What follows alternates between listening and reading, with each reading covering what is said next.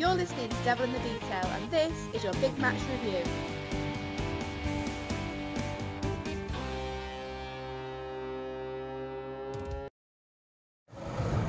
Is it, is it on red now? Right, off you go. Right, team news for today. Salford Red Devils beat Wakefield Trinity Wildcats. Salford start with Gaz O'Brien at fullback, Niall Evans, Josh Jones, Junior Sa'u, Daniel Vidot, Rob Lui, Michael Dobson, Craig Kopczak, Logan Tomkins, George Griffin, Ben Murdoch Masila, Weller and on the bench for Salford is Mark Flanagan. On the bench, sorry, is Ryan Lannon, Adam Walne, Jake Bibby and Phil Joseph. Strong side that, Paul? It is a strong side, yeah. I'm surprised to see Josh Jones in the centre there. You know, I think he's he says, uh, we've shuffled it round, have the Evans on the wing and Khan down suspension. So, uh, so yes, it's actually Jones to me, you know, against the, the two sets of weight, he's got a bit of pace out wide. So he'll be dangerous on the edge. He's have to work out. Yeah, Wakefield start with Max Howard at fullback, Craig Hall, Bill Tupou, Joanne, Ben Jones Bishop, Jones Bishop, ex-Red, Jacob Miller, Liam Finn, Nick Scruton, Michael Sio, Anthony England, Danny Kirmond, Anthony Tupou, and on loose forward is Tinirau Arona. On the bench for them is Michael Simon, Matty Ashurst, Chris Annakin and Scott Anderson. You know, it's going to be a tough game. Wakefield full of uh, good players there. Finn, Ben Jones Bishop coming back. It's going to be a test. I think they're good at half-back, aren't they, Wakefield, and uh,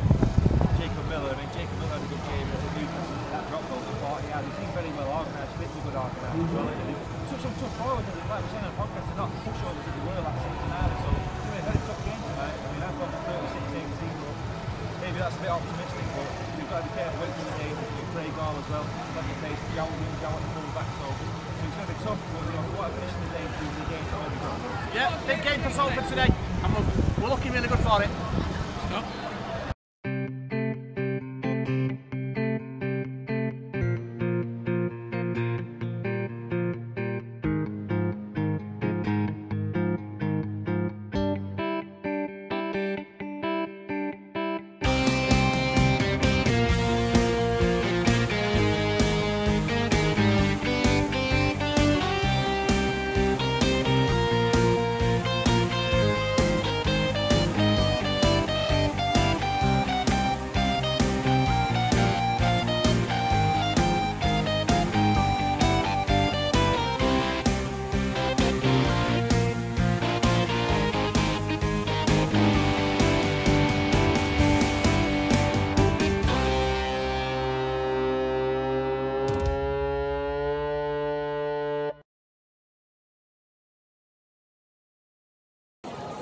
It's half time here at the AJ Bell Stadium. Salford leading by 10 points to 4. Niall Evans scoring our first try, finish, finishing brilliant in the corner after, a- after a great break from Michael Dobson.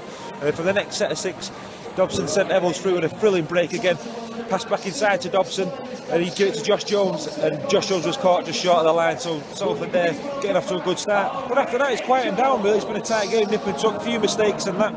Eventually Wakefield built pressure, four sets of six on Salford's line, Salford's defended it but eventually we did crack a few minutes later and Anthony Tupou went over. Uh, the kick was missed by Liam Finn and it was four points apiece.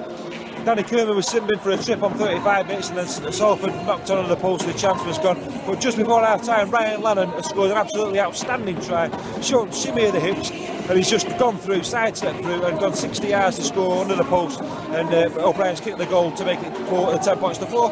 Just on half time though, Michael Dobson with the boots are about to go, chipped over for Niall Evans to chase. Evans was taken out by Ben Jones Bishop. Jones Bishop's been simming for a professional foul. Uh, Gareth O'Brien had to go for goal because the half-time, half-time hooter had gone. He did go for goal but missed it. So it's half-time here at the AJ Bell. Salford leading by 10 points to 4.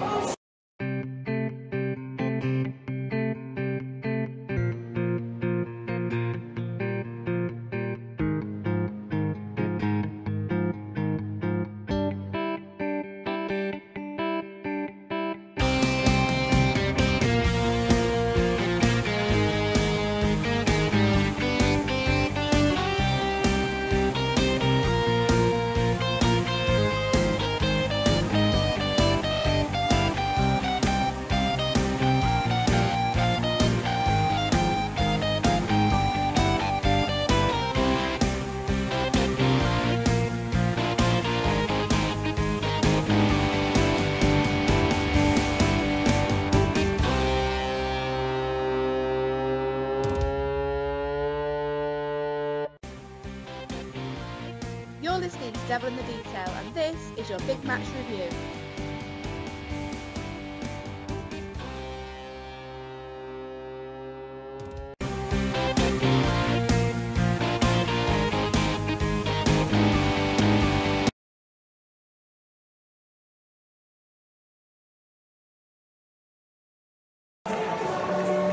It's been quite a second half here at the AJ Bell Stadium. Salford leading by 10 points to 4 at, at half time.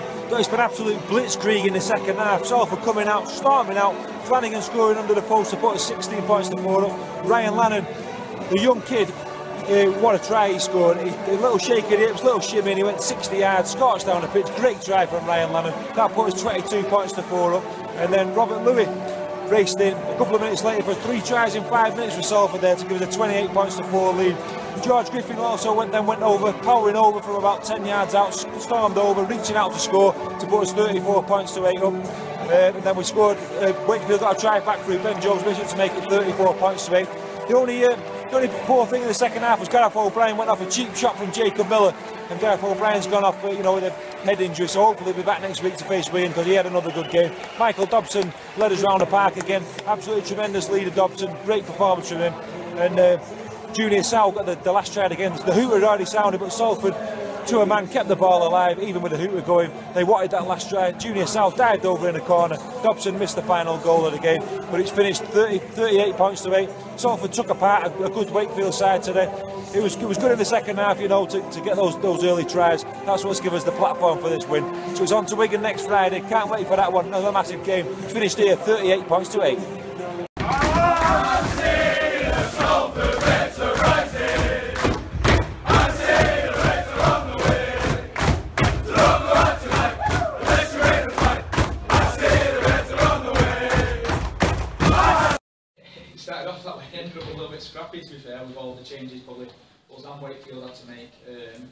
Good result for us. It's great to back up um, a result from last weekend. It's a focus we spoke about this week. Comprehensive, though. Yeah, we, we, we were good. Um, we're confident. We're a, good- we're a good group. And, and I keep saying that. I know I keep saying that. But we're a good group, and if, if we have the attitude to defend, it, um, we, we play really well. Um, so it's how hard we're willing to work off the ball more than on it. Really, that kind of gets us our results. And you've seen that against teams like Leeds when we played them down here as well. And, and the boys are buying into it and they're believing that in the D. And they come off at half time and they were saying they felt comfortable in D as well. We've just made too many errors with the ball. And then obviously second half we needed to just clean up and we caught them early, which was good. Middles are very good together. Yeah, I think the, the middles had a point to prove. Um, I felt that there was overrun at Wakefield. Uh, they did really well on that.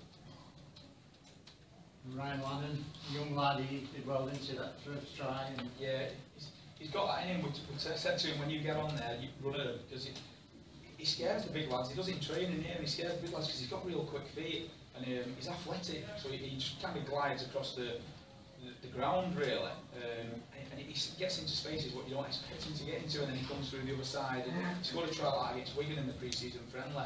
Um, we just want him to back his own ability.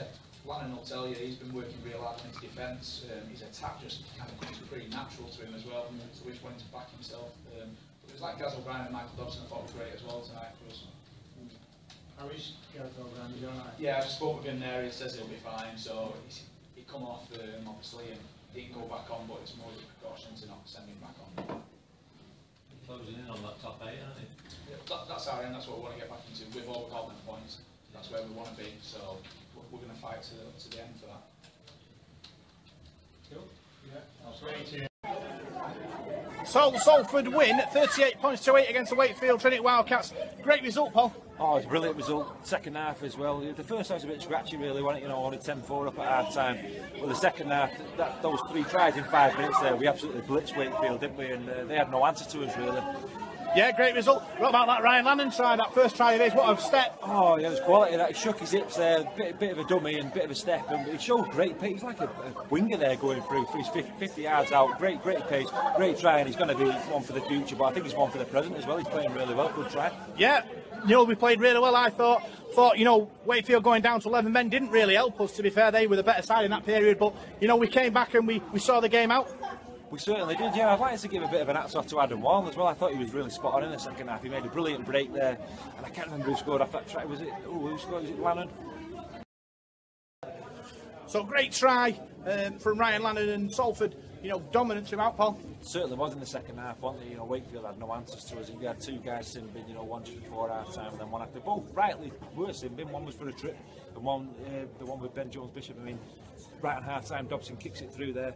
I think if Ben Jones doesn't take Evans out, Evans would have scored, wouldn't he? Because it was great, great play. I mean, Michael Dobson tonight, for me, was absolutely outstanding again. Yeah, Salford dominant throughout. Great performance, I thought. Josh Jones was fantastic tonight. Phil Joseph coming on at hooker, you know, it was great, I thought. Phil Joseph's distribution is fantastic. He can, I mean, he doesn't run from dummy half. He's not a, a, a hooker, but he's, he's passing. He's so accurate. He, uh, he played well. So Jones as well worked really hard and looked really dangerous. I thought. Yeah, great performance from Salford Devils today, winning 38 points to eight here at the AJ Bell Stadium, and the uh, the cavalry charge for the eights on Paul. It certainly is. Massive game against Wigan next week. We need to turn them over as well. Yeah, so don't forget to tune into our pop-up podcast where we talk about will Salford make the eight. So you can tune in. We can find us on our Facebook page and on the Twitter at DITDSRD, and you can tune in and have a listen and see what you think. So thanks for listening. I'm watching this little video, and we'll see you on Wednesday.